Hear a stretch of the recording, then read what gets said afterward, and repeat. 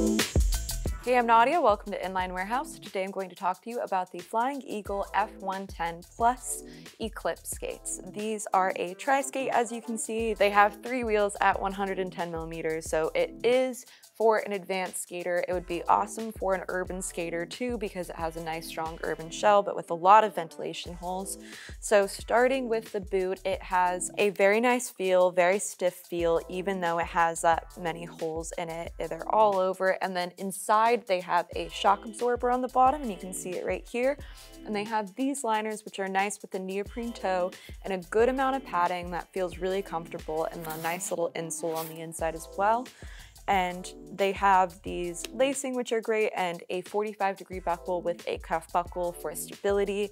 Down below they have three mounting holes so that you can adjust the mounting and they are metal mounting holes so that they have really nice reaction to the 6000 CNC machined frames that are made out of aluminum. They're super strong and they are really durable. They have a little bit of um, an extended front wheel, as you might notice, and that's to add stability in your tri-skating. The more your wheels are outside of your toe and heel, it adds a lot more so that you can just feel more stable in your stride. If it were back here, that would kind of feel uncomfortable for the front, but it could be fun for some on other skates. Or you could also change the frame if you'd like to.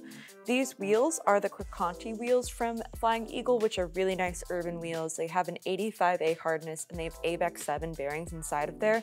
So really nice smooth roll, really good super high rebound in the wheels. So that's going to feel really good and squishy and also just like remove any bumps in the ground while you're skating. That's basically everything that you need to learn about this skate today, but if you'd like to learn more and you have any questions, just comment below and we can help you there.